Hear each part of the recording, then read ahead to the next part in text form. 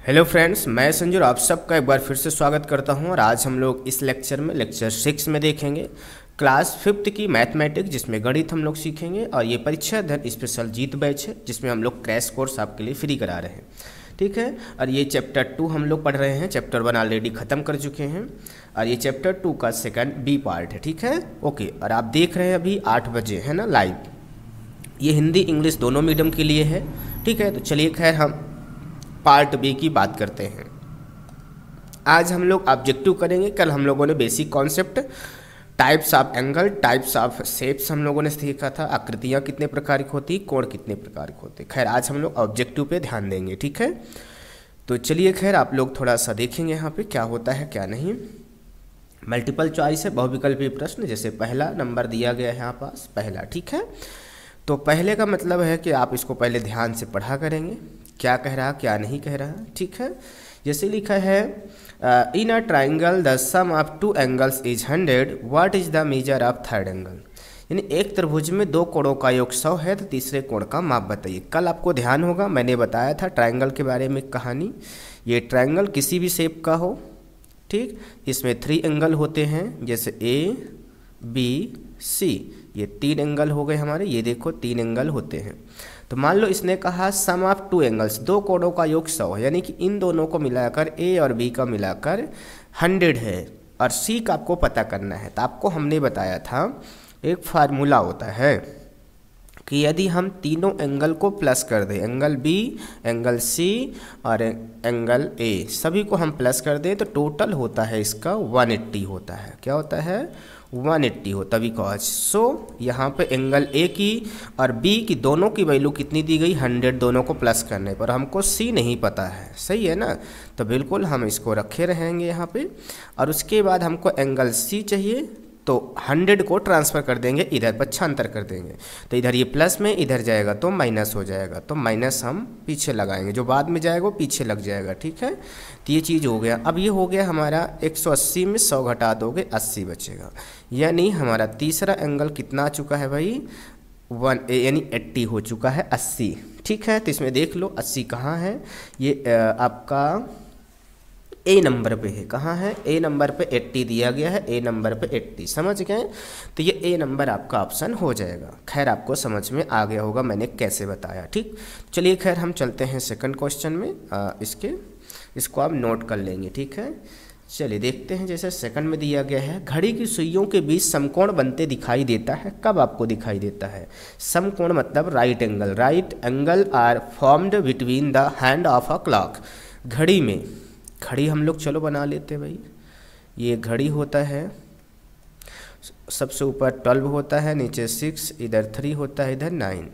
इन्हीं में आपको नाइन्टी ज़्यादातर देखने को मिलता है, ठीक है? तो नाइन्टी कब कब मिलता है, ये हमने घड़ी में कभी देखा। नाइन्टी का मतलब होता है जो एंगल सीधा ऐसे हो, ये होता है नाइन्टी का। ऐसी कब बनेगा भाई? ठीक है? करेक्ट कह रहा है, इसमें टू ओ क्लॉक दे रहा three o'clock twelve o'clock five o'clock यानी कि दो बजे, तीन बजे, बारह बजे, पाँच बजे। आपको पता है, जब बचता है कोई भी फिक्स टाइम तो एक जो सुई होती है, काटा इसका, वो होता है ट्वेल्व पे। ठीक? कितना होता है? ट्वेल्व पे होता है। तब आपको इसमें चेक करना है कौन सा होता है। तो दूसरा हमको कांटा रखना है किस पे? जिस पे बजेगा और इस तरह दिखना चाहिए। तो अगर हम थ्री पे करते हैं तो थ्री पे तो नाइन्टी बन रहा, बिल्कुल। अगर इसी को हम सिक्स पे करेंगे तो ये तो ज़्यादा हो जाएगा। अच्छा नाइन पे करेंगे, तब भी बच जाएगा भाई। तो नाइन और थ्री दो हो रहे हैं भाई, दो में आपके राइट एंगल बच जाते हैं। सही है ना? हाँ फिक्स कह रहा फिक्स अगर इसमें मिनट उनट नहीं है तो मिनट यानी ज़ीरो यानी ट्वेल्व पे करेंगे तो मिनट वाली तो ज़ीरो हो जाएगी। घंटे वाली को हम आवर वाले को थ्री या नाइन पे करेंगे तो ट्वेल्व आपका नाइन्टी एंगल हो, चाहे नाइन्टी एंगल इधर घूमा हो, चाहे नाइन्टी एंगल इधर घूमा हो, कहीं भी घूमा हो। नाइन्टी से मतलब होता है, ठीक है? तो यहाँ पे एक तो फिक्स है ट्वेल्व पे ही होगी, बाकी हमारी घूमेंगी। तो यहाँ पे क्या ऑप्शन हो जाएगा आपका? थ्री नाइन तो यहाँ ऑप्शन में नहीं है, अगर नाइन होता तो वो भी हो जाता। पर यहाँ पे ऑप्शन में कौन है? बी नंबर कौन है भाई? बी नंबर आपका आसन सही हो जाएगा बी नंबर ठीक है? थ्री ओ क्लॉक कौन सा हो जाएगा? थ्री ओ क्लॉक तीन बजे। समझ गए? यस चलते खैर हम लोग आगे चलते हैं। देखेंगे हम लोग थर्ड नंबर क्या कह रहा, क्या आप अनुमान लगा सकते हैं समकोण कोण का एक बटा तीन भाग कितने डिग्री होता है? यानी can you guess the measure of one upon third of a straight angle? तो कह रहा, क्या आप अनुमान लगा सकते हैं, गेस लगा सकते हैं? तो हम लोग अनुमान क्या, सॉल्व ही कर लेते हैं। तो यहाँ पे can you measure one upon third right angle? Right angle कितने का होता है? नाइन्टी का होता है। और कह रहा, इसका इसका कह रहा, वन अपॉन थर्ड ऑफ़ का मतलब का होता है? क्या होता है? हिंदी में क्या बोलेंगे? का। One upon third. तो इनका दोनों का मीन्स होता ऑफ़ या का का मल्टीप्लाई क्या होता है? मल्टीप्लाई तो यहाँ पे हम कर देंगे मल्टीप्लाई वन थर्ड पूछा था। देखो ये कट रहा है। क्या हो रहा है यहाँ पास? कट रहा। थ्री से कट रहा ये।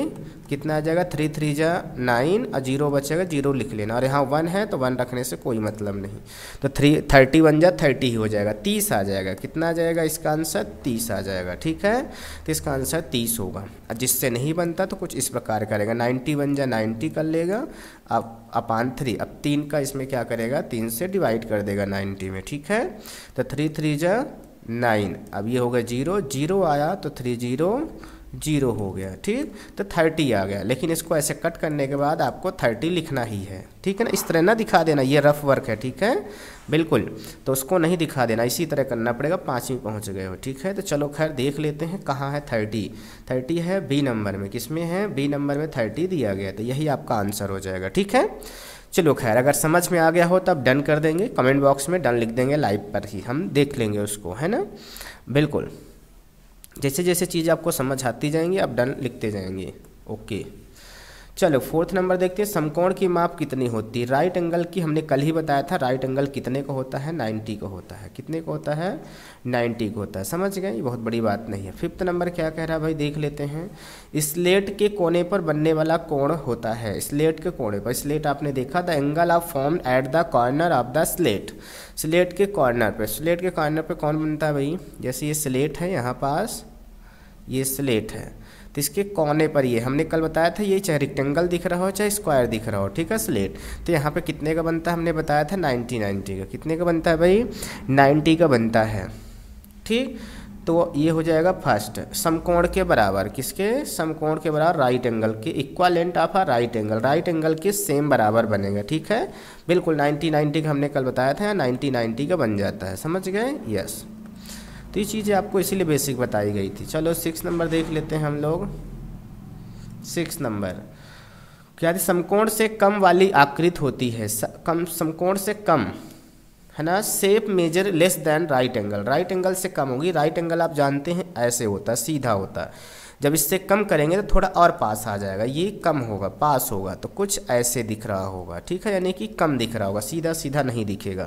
तो ऐसा देखो, ये तो ज़्यादा दिख रहा है नाइन्टी का देखो करेंगे तो इतना ही होगा, ज़्यादा है ये। ये भी देखो ज़्यादा नाइन्टी का ऐसे करेंगे तो नाइन्टी का होगा देखो, ज़्यादा। ये थोड़ा कम लग रहा है, ये भी ज़्यादा है। तो ये सी नंबर आपका सही लग रहा है, ठीक है? सी नंबर आपका हो जाएगा। क्लियर है? तो आई होप कि आपको सारे समझ में आ गए होंगे।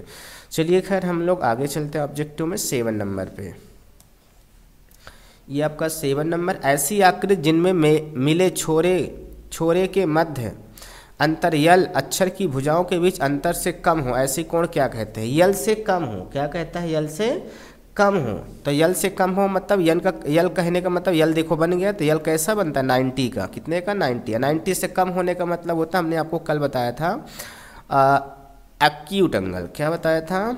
एक्यूट एंगल यानी न्यून कोण। हमने कल बताया था, आपको सिखाया था, जो 90 से कम होते हैं। ठीक? तो ये हो जाएगा आपका ए नंबर। सॉरी, इसमें लग गया ये ए नंबर एक्यूट एंगल ये हो जाएगा। क्लियर है? क्या हो जाएगा? एक्यूट एंगल हो जाएगा। क्लियर है? यस तो इसमें हो जाएगा न्यून कोण समझ गए? यस चलो एट्थ नंबर देख लेते हैं हम लोग। क्या करा? समकोण के बराबर वाली आकृत है। सब समकोण, यानी कि 90 किसमें बना? इस तरह की चित्र कैसा, कहाँ बना हुआ? देखो, इसमें बना हुआ है। समकोण के बराबर वाली आकृत है। इसमें भी इसमें भी नाइन्टी दिख रहा भाई। ये दो नाइन्टी नहीं दिख रहे हैं। तो यहाँ पे दो दो नाइन्टी दिख रहा भाई। ये भी सीधा सीधा लग रहा, ये भी सीधा सीधा लग रहा।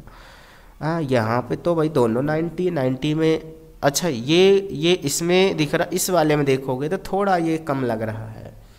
थोड़ा हल्का यहाँ देखो जब इसका अगर 90 बनाओगे तो ये यहाँ से जाएगा। लेकिन इसमें पूरा पूरा लग रहा है, सही है ना? तो वो इस वाले में सही दिया, इसमें थोड़ा बड़ा दिया हिंदी वाले में। तो ये गलत है, ठीक है? आप दोनों में देख लेना, ये वाला सही है, ए नंबर। क्या सही है? ए नंबर आपका सही हो जाएगा, ठीक है? चलो, नाइन्थ नंबर देखते हैं हम लोग। समकोण से अधिक वाली माप, समकोण से अधिक मतलब इससे अधिक तो एक तो ऐसे ही रहेगा, जब ऐसे के बजाय वो ऐसे बढ़ जाएगा, इधर। इतना ज़्यादा हो जाए तो। देख लो भाई कहाँ इतना ज़्यादा? ये देखो बी नंबर में बैठा हुआ, ये ज़्यादा है, ये तो बाकी सब छोटे छोटे हैं। बी नंबर आपका ज़्यादा है। समझ गए? और जो राइट एंगल से ज़्यादा होगा समकोण से, वो क्या कहलाएगा? ऑप्टिव एंगल यानी कि अधिक कोण कहलाएगा, ठीक है? तो खैर हमने इनको भी देख लिया आपको, ठीक है? ध्यान से आप सुनोगे, आपको सारा समझ में आएगा। ये आंसर सीट है, आप यहाँ से मैचिंग कर सकते हैं। चलो फिर इतना ब्लैंक देख लेते हैं। ये जैसा दिया है, यह आकृत भुजाओं वाली बंद आकृति। कितनी इसमें भुजाएँ हैं भाई? कितने साइडें हैं? ठीक? आप इसमें बताएँ कितने भुजा हैं? साइड गिनना आपको, हम बता देते हैं, चलो। ठीक साइड गिन पाते हो आप लोग के नहीं गिन पाते हो? चलो फिर भी हम आपको बता देते हैं। देखो यहाँ पे जैसे भुजाएँ हम गिनेंगे तो एक ये हुआ, दो, तीन तीन इसमें है, चार, पाँच, छः। छः भुजाएँ इसमें सिक्स साइड्स हैं। क्या है? सिक्स साइड्स हैं ठीक? दूसरा जैसे दिया, किसी भी त्रिभुज के तीनों कोणों का योग हमें, अभी हमने पीछे आपको बताया कि the sum of angles of a triangle is always 180 होता है। कितना होता है? 180 ठीक? ये हमने आपको पीछे बताया है। खैर, चलते हैं हम लोग थर्ड नंबर पे। थर्ड क्या? अंग्रेज़ी वर्णमाला के यक्ष में समकोण से कम है। कोण समकोण से कम है कि नहीं है? तो यक्ष देख लेते हैं, यक्ष में। बिल्कुल एक ये कम है और ये ज़्यादा है। इधर की ज़्यादा है भाई। हुँ? हम्म? तो ये क्या है भाई? अंग्रेज़ी वर्णमाला के अक्षर यक्ष में कोण, समकोण से कम। कितने कोण, समकोण से कम है? देख रहे हो आप यक्ष जब देखोगे तो ये दोनों क्या है? कम है। ये दोनों ज़्यादा हैं। ठीक है तो दो कम है। कितने कम है? दो एंगल ऐसे हैं जो कि कम है। Angles are less than right angle. ठीक है? Fourth number.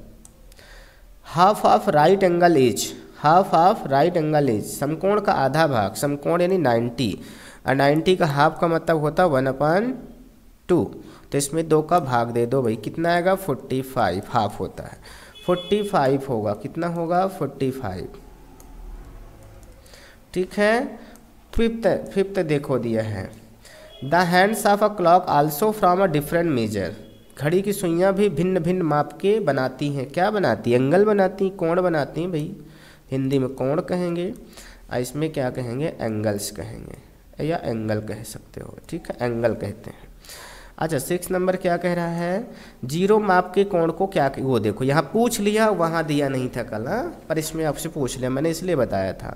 An angle that measure zero is called क्या कहते थे? हमने कल बताया था ज़ीरो एंगल यानी शून्य कोण।